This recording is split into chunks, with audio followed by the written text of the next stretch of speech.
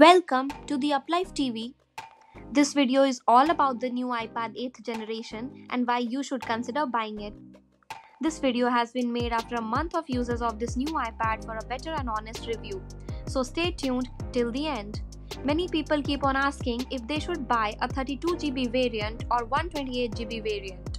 And the honest answer to this question is it totally depends on your uses.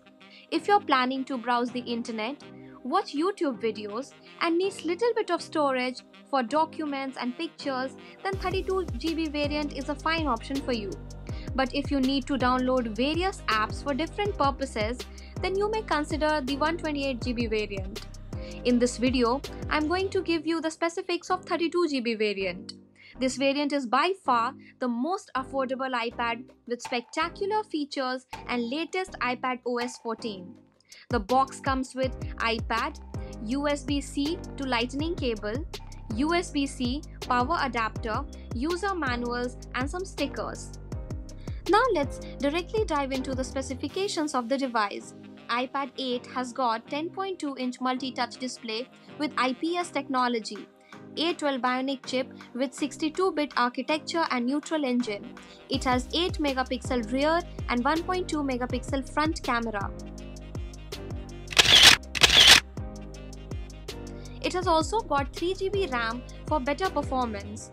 It comes with latest version of Siri for better voice recognition. The stereo speakers are near the charging slot and gives a decent music and movie experience. It has got dual microphone for calls and video calls. Probably it's the last model that comes with headphone jack. There's a touch ID home button at the bottom of the screen. The volume adjustment buttons are on the top right hand side. The power button is situated on the top. The lightning connector can be used to charge iPad and connect accessories. The battery can run around 8 to 10 hours if used decently. It comes in both Wi-Fi and cellular models. This variant comes with an Apple Pencil and Smart Keyboard support. There are three dots on the side of the iPad to attach the Smart Keyboard. You can swipe down from the top right corner of the screen to access the control center to change the volume, brightness, wireless settings and more. You can swipe up to access the dock or switch between open apps. The design remains same as iPad 7th generation with recycled aluminium body.